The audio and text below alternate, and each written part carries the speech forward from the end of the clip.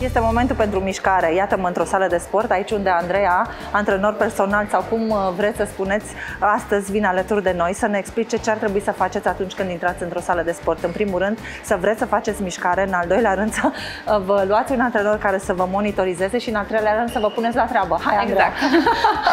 astăzi Bună. ce facem? Vom lucra astăzi zona mediană Așa. și zona lombară, care este foarte importantă și consider că ele se pot lucra împreună, niciodată separat separat, depind una de alta. Important e să țineți minte că atunci când aveți un abdomen puternic, aveți și o viață puternică, pentru că e cumva baza antrenamentului. Ce facem pentru asta? O să începem cu niște hiperextensii. Va trebui să ne poziționăm culcat Așa. pe burtă. Și de aici vom ridica în același timp și brațele și picioarele. Astfel vom încorda zona lombară. E important să ținem cont și de cervicală, bărbia să fie în piept. Expir sus, inspir jos. Încordăm fesierii și tragem de coate cât putem în sus. Ei, când ai un antrenor lângă tine, zine să face efort pentru că o vezi făcând.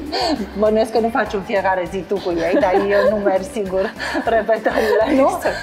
Așa, al doilea exercițiu. Următorul exercițiu tot pentru zona mediană ne vom poziționa pe brațe. Aici este important să ținem palmele deasupra umărului, să încordăm foarte tare abdomenul și fesierii și de aici ducem palmele alternativ spre umeri.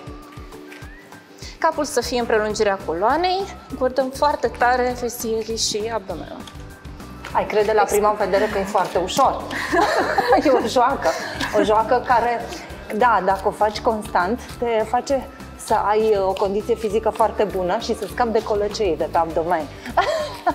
Este foarte important să nu balansăm bazinul pentru acest exercițiu. Destul de greu, să știi. să nu-l balansezi, tendința este să te duci în balans exact, când exact. și în dreapta. Așa că un alt motiv să stați lângă un antrenor sau să aveți un antrenor lângă voi pentru că vă coordonează. Al treia mișcare?